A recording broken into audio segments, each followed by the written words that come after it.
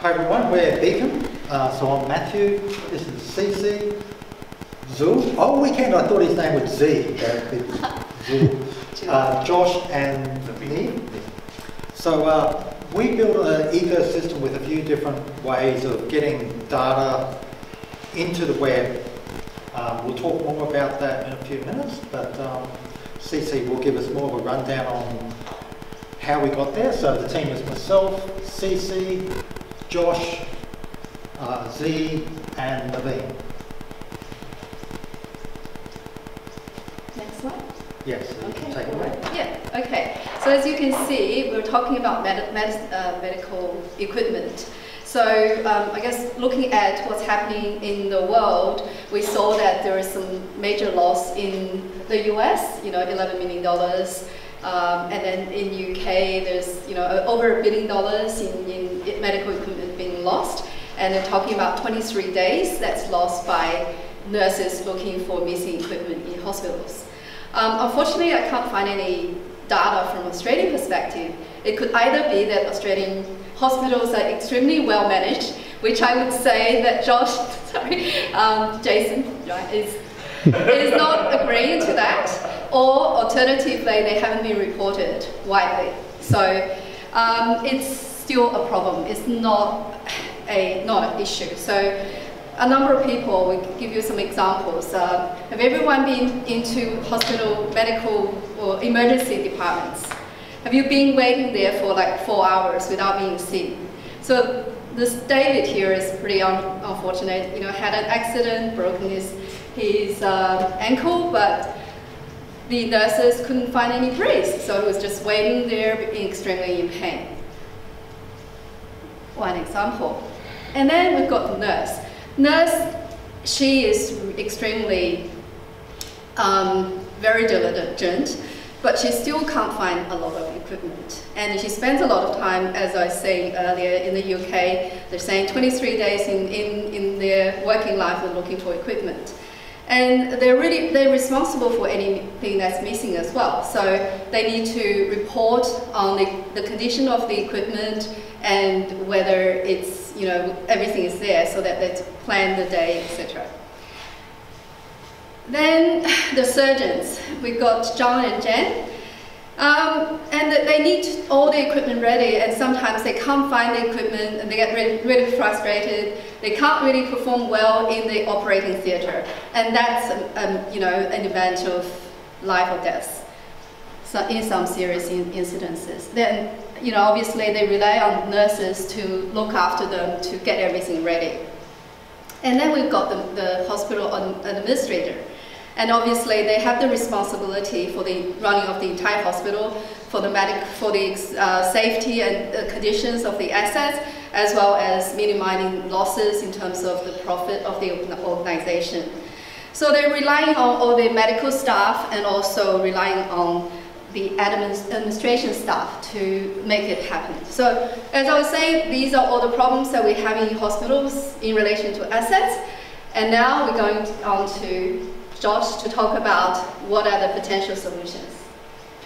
Thank you. So some of the tech that we could use to help solve the, uh, the asset tracking, it could range from really cheap, really simple, like a QR code or an NFC tag, and then go to quite complex, where you're having um, IoT devices or Bluetooth beacons on all of your valuable assets, and then setting up a network so you can know instantly where where your assets are across your hospital. This isn't just for hospitals as well, it can also translate into aged care facilities and this sort of thing. So um, we've gone with the cheaper ones to the more, most expensive ones, as you can see here. So we think that QR code is a really practical, quick, cheap, simple way, low risk, to be able to track and report assets, uh, where their state, their logs, that sort of thing. Whereas if you had a, a GPS system, a battery-powered GPS system or an IoT device on all of your assets, um, that's, that's quite a big network. That's a lot of hardware infrastructure, massive cost to implement. So um, going back one, so QR code, and then so also the Bluetooth beacons. So this still is a practical solution.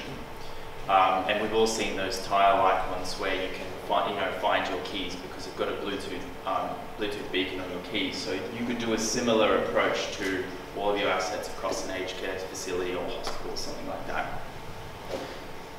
So how does it work? For example, you can see here, this is an expensive medical device, looks like an ultrasound, and it's got a QR code.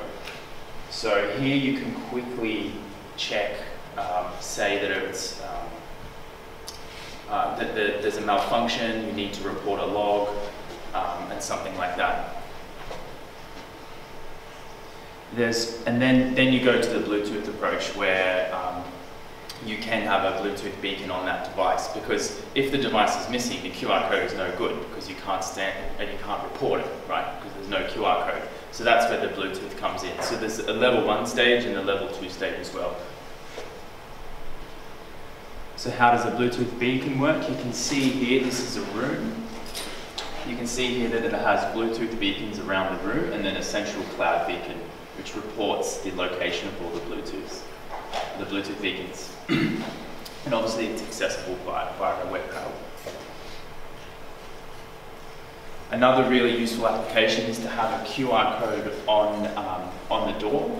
So staff can actually, so the hospital staff need to log who they've seen throughout the day and what they've done. And apparently this is a, is a, um, is, takes a lot of time to do. So if you had a phone where you could just scan, you can pre-fill the form of the customer and quickly do all your logging for the day. And I think we have a demo. Tested that with your sister who's in the hospital. Yeah, that's right. So here is the demo. So, so you can have QR codes all over the hospital and uh, if you need to report something, you can just scan it and that opens a fast report tool so it's really quick to, um, to report things missing or things need checking and then this can obviously send to a um, send an SMS or an email to the cleaner. So I've submitted that on my phone.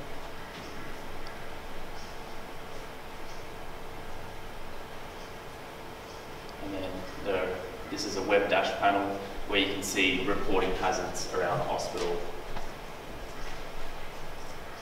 um, or missing items or something like that. Is that real time?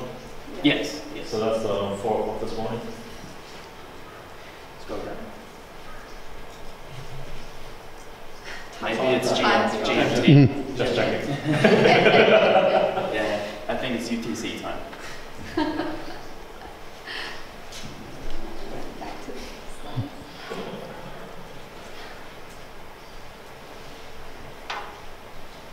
Back to the It's good slide. that you're, you're listening, you're paying attention.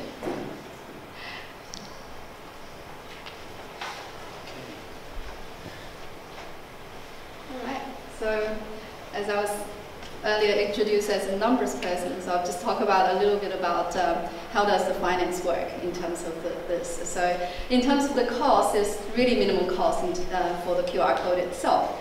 And what's more, you know, what will cost more is about the development of the monitoring system, uploading the data, the actual customer interface. That, you know, we've got to design that. Um, the the demo is already designed. You know, over the last 24 hours, basically designed a little demo of that very quick system, so it can be done in a rel relatively quick uh, space as well. And then we have the implementation costs at hospitals or the aged care facility, which is could be um, more substantial because it, it'll mean that you're actually applying QR codes to all the assets or, or whatever you decide which level of asset you want to apply it to. Um, but that is, you know, it will be weighed against what, what benefit it's actually getting the hospitals in terms of, uh, you know, not missing the equipment, getting the equipment reported straight away when there is, you know, anything wrong with it or, you know, that all, all those sort of things. Um, and obviously there's training costs for employees, there's ongoing application maintenance costs and, and then the data management as well. So we talk thinking about, you know, this is not a free thing that we're managing, so we're going to, you know, some, some ideas about business model in terms of what revenue we're going to get. Obviously, you can do a, a once in a while initial setup revenue only, and the client can manage it themselves. So they, they do the management of all the data and everything. And the second level is we will do a weekly monitoring of their assets, and we do a set, initial setup revenue and then ongoing cost for maintenance, subscription, and then, um, you know, there is a co-op fee for, for any specific things that we need to help them with. And the third level is, is actually, it's going to be daily monitoring, a lot of intense help. And, but then in that case, they, they pay a larger monthly subscription fee, but they don't have to pay a call-out fee. Um, so in terms of competitors, uh, these are actually competitors that are in the US or in Canada that are in the space of more the beacons and the, the domestic or the, the indoor uh, location systems. Uh, so not they're not specifically on the, the QR code Q, uh, QR code one, and uh, we haven't really found anything that's sort of competing with that. Although there are uh, ones in Australia that they're doing something similar but not, not the same. Steps forward, obviously we need to build a prototype.